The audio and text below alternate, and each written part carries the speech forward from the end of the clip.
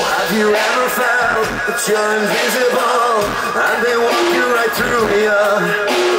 Uh, just